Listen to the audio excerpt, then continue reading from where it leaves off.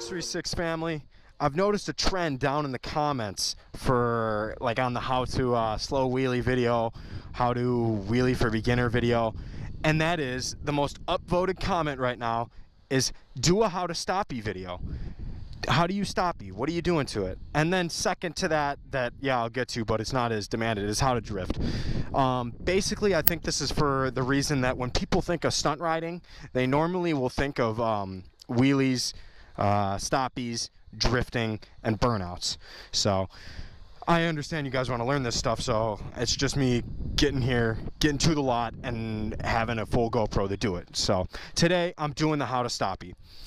I personally highly advocate for having a little bike, whether that's a Grom or whatever, um, a Z, any anything, even even a okay, maybe not a Ninja 250, but you, you get the point. A mini bike, because the braking system on it is a lot more forgiving than the big bike's braking system. However, I am going to be teaching you guys on the big bike, um, and just because this is what a lot of guys are using to learn how to stoppie. Now, with that in mind, know that sport bikes front brakes are super, super, super powerful. I'm sure I don't even have to tell you guys that.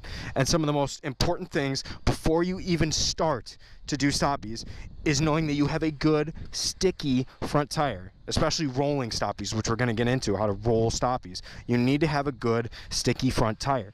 You need to have the proper PSI in it. Um, you need to have good brake pads, uh, good rotors. You need to have everything checked out and good. You can't be doing this on no junk, you know, I picked this up at the motorcycle shop for free because it was on the used rack and yeah it's all dry rot and stuff no. You need this to be soft you need this to be sticky and you need this to grip because the last thing you want to do is slide out of a stoppie because you're going to come in hotter and hotter you know 30 40 miles per hour and you're just gonna you're just gonna wash right out. So i'm sure you guys have seen a bunch of videos. Maybe i'll even include one right here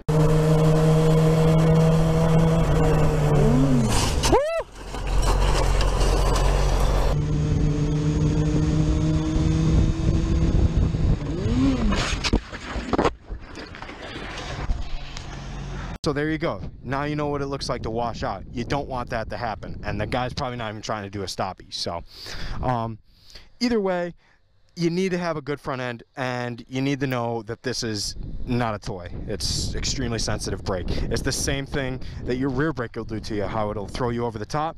This one will throw you right over too. So without further ado, let's get into this. Um, First and foremost, we're going to be doing pop-up stoppies, which is, or just pop-up stoppies, which is basically what you see, you know, maybe, I don't want to say a squid or whatever, but, you know, you might want to you see it on the street and some just random guy comes up to a stoplight and he's right up to the stoplight and boom, you know, he just, as he's braking, the rear tire comes off the ground.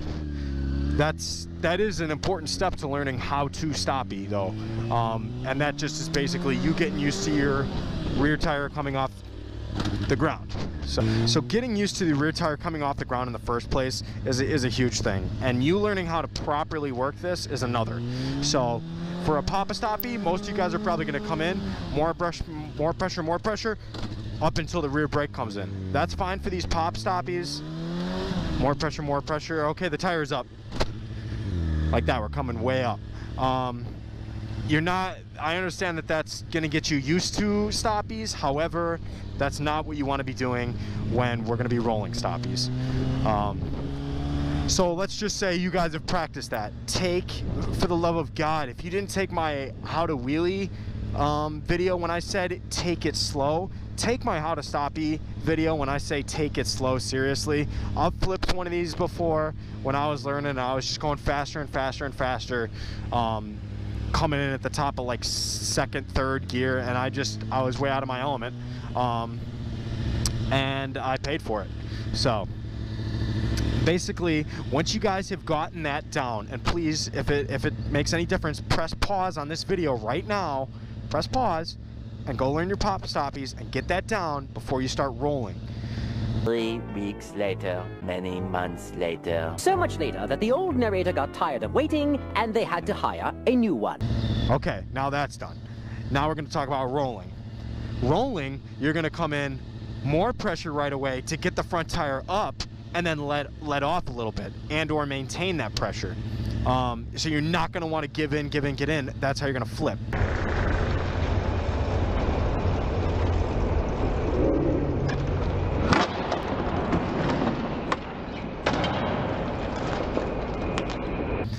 Another huge important thing for when you're rolling stoppies is to have a fixed point. For me, it's these trees.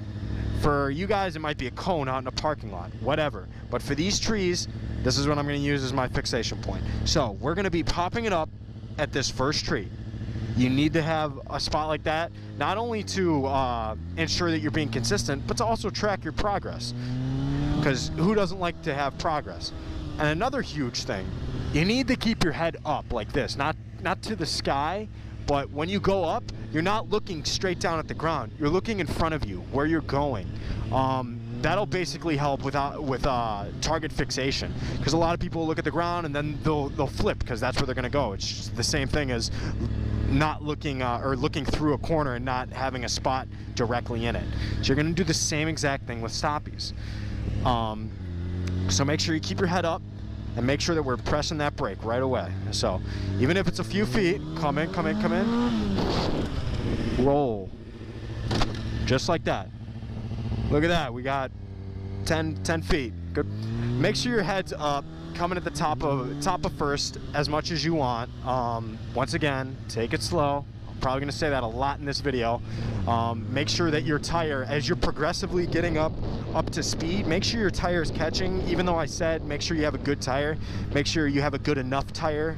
Michelin uh, Pilot 2CTs, that's what I run. Other guys run Q3s. Um, the, the good sticky tires. I've never gone wrong with pilots, so whatever. Run a good sticky tire up front.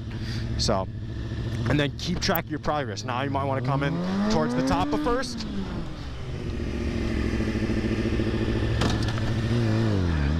You know, keep going and track your your speed not by looking at your speedometer of course so you're not looking down i keep track of it by listening to the motor so listen to listen to how loud that motor is and then as you keep going, you can change gears. Go at the top of second gear, go at the top of third gear. Now, going in at the top of first gear compared to the top of second gear, that's gonna probably take you weeks, if not months, to uh, to get that down. So, going in at the top of something like that is not the same. So, basically, this whole time too, I totally forgot to talk about this.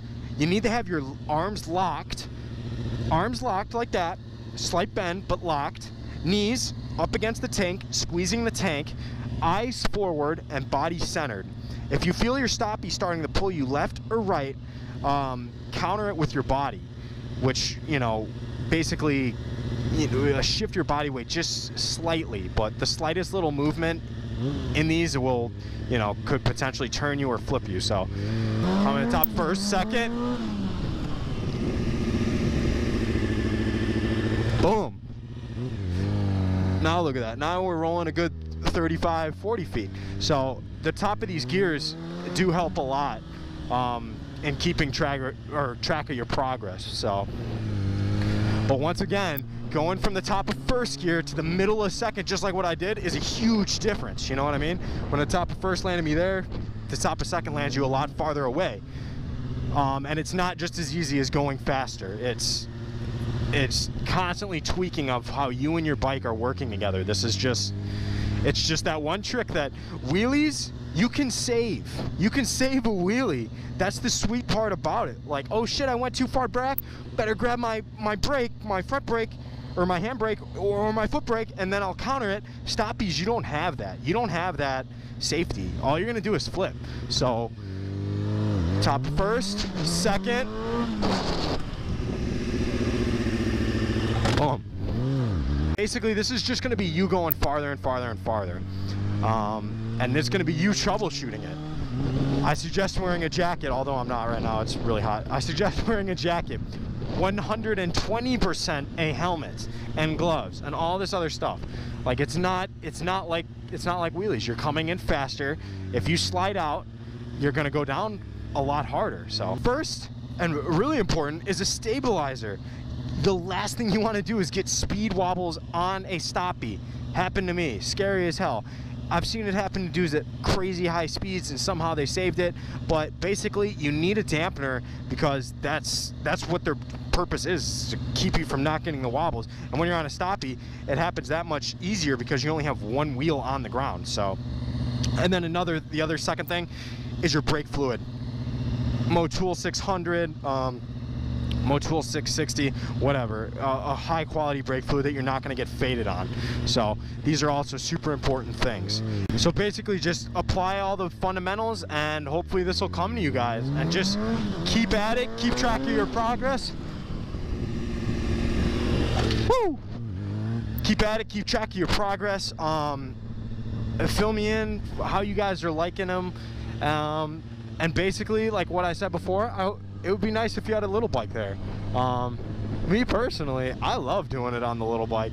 I think the little bike is so much more fun. Um, for a lot of reasons and, and, it's not just because it's more forgiving I, I like it because it's lighter and yeah you are kind of picking the bike up to a sense when you're squeezing that tank you know? So you're more predictable than the brakes are. So make sure your tires warmed up too. There's another huge thing I forgot to say. Make sure your tires warmed up. So when you come in for the first few times just do a few quick brakes like this. Make sure to warm it up though you know? Warm it up. Do a couple papa stoppies, whatever. Whatever you got to do to warm up, warm up that front tire. Woo! So yeah, we'll come in. You might need a little bit more room for gears on on the Grom than you do the big bike, but still come in hot.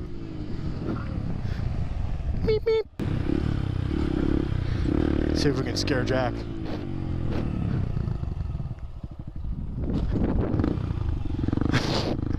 I don't know if Jack likes stoppies or not. Jack, do you like stoppies? Do you like stoppies, Jack? I don't think so. Okay, bye, buddy. Well, I guess Jack doesn't like stoppies, but hey, guys, let me tell you, I appreciate you guys watching this channel so much. I know I say it uh, here and there, but I really do mean it. Um, I appreciate you guys leaving your comments. I appreciate you guys leaving your comments. Um, always let me know what you guys want to see next, what you guys liked about the video, what you guys didn't like about the video. Saying, hey, you're gay, hey, I love you, vice versa, whatever. Letting me guys know your honest opinion is, is awesome. So I'm extremely happy with the community that this channel's brought. So keep at this stuff, at all these how-tos, and it'll come to you, I promise.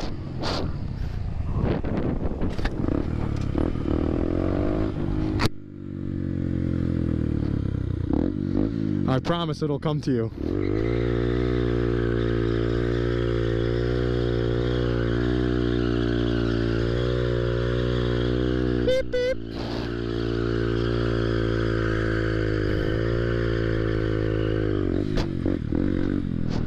Hey, if you haven't seen my how to how to do rolling burnout video, uh, I'll link it right there. But man, if I can do it on a Grom, you can do it on a big bike. So I hope you guys enjoyed this how to stoppie video if you get anything out of this video um, if you didn't get anything out of it I should say please take home um, take it easy. Take it slow. That's my biggest suggestion.